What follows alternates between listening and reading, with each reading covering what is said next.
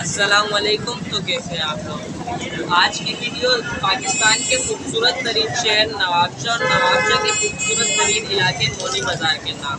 जहाँ से जब भी आपको गुजरना होगा आपको काठियावाड़ी छोले ज़रूर नज़र आएँगे। और जिसने वो ट्राई नहीं किए उसका मोनी बाज़ार से गुजरना ना इसकी भाई कैसे हैं आप? भाई ये देखें ये सेटअप है काठियावाड़ी छोलों का जिसका मैंने आपको बताया था। और अभी इनका हाइजीन लेवल आप चेक कर सकते हैं काफ़ी सफ़ाई से बना रहे हैं और आपको लग भी रहा होगा।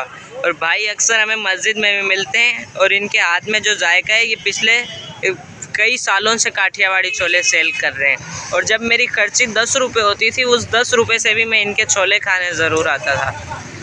तो भाई लगा दें आज भी एक प्याला। ये देखें आपको नॉर्मल हो नॉर्मल हो। जो वीडियो वाले लोगों के मुँह में पानी आ जाए देखते ये क्या डाल रहे हैं? सही ये प्याज नहीं डालता अपना हाथ खुला है हर चीज़ पे ये मसाले हैं। ये किस चीज़ का मसाला है? ग्रीन चिली है ये और रेड चिली है और चाट मसाला है। ये ज़ीरा धनिया का पाउडर है बुनाई किया हुआ है। क्योंकि मैं खुद अपने हाथ का बनाता हूँ ना। और ये सब कुछ भाई के छोले भी घर से बनते हैं। रहे हैं ये मार्केट की नहीं है ये गोल जो मिर्ची आती है ना पेरी मिर्ची वो खुद मैंने घर पे कैलेंडर की है ओरिजिनल है। जी। और ये छोले घर से बनते हैं आपके? घर और... से बनाता हूँ बिल्कुल मैं खुद बनाता हूँ। और ये ग्रीन चटनी है। ग्रीन चटनी देखते ही आपके मुँह में पानी आ गया होगा मुझे उम्मीद है। पानी है। इमली का पानी भी मसाले ऐड है।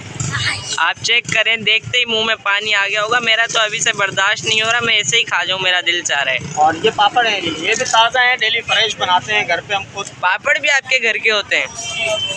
बिल्कुल फ्रेश बनाते हैं ये देखिए से ये आप चेक करें देखते ही मुँह में पानी ज़रूर आ जाएगा मुझे उम्मीद है। पानी नहीं पानी का सैलाब आ जाएगा आपके मुँह में। नहीं ये आप आके फिर हमें बताइएगा टेस्ट कैसे आशिर भाई पहले आप चेक करें।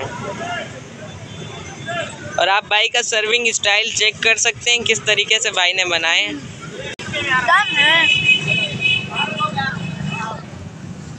अब अब मैं खुद ये काठियावाड़ी छोले ट्राई करूँगा आप चेक करें। और इसकी फ़र्स्ट बाइट आपके ज़बान पर नहीं और आपके दिल पर लगती है और दिल से आवाज़ आती है एकदम शानदार।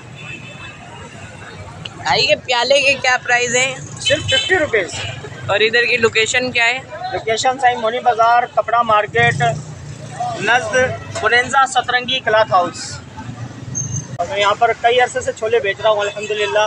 आपके वालिद भी यही काम करते थे? जी मेरे वालिद भी यही काम करते थे और मैं भी यही काम कर रहा हूँ। अल्लाह का शुक्र है कि लोग दिन ब दिन कस्टमर बनते जाते हैं देखते हैं। अभी तो सर मगरब से पहले रात को मेरे पास अक्सर यहाँ पर रश होता है और शोरूम मोटरसाइकिल वाले शोरूम पे भी मेरा किया है।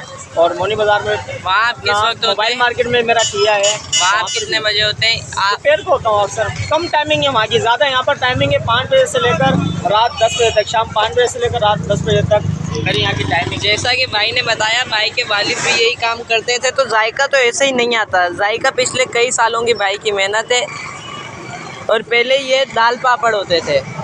और अब ये काठियावाड़ी छोले की चाट बन चुकी है और इनका टेस्ट बहुत आला है। मैं जब भी कपड़ा मार्केट आता हूँ, मैं काठियावाड़ी छोले ज़रूर ट्राई करता हूँ। और आपको भाई का अगर साइड की साइड से नज़र नहीं आए तो आपके सामने से चेक कर सकते हैं। भाई का सेटअप है, बहुत ही बेहतरीन किस्म का और ये सारी चीज़ें भाई के घर की बनी हुई है। भाई जो है, महँगाई के हिसाब से बहुत ही कम पैसों में काठियावाड़ी छोले बेच रहे हैं। और आज के लिए इतना ही, अल्लाह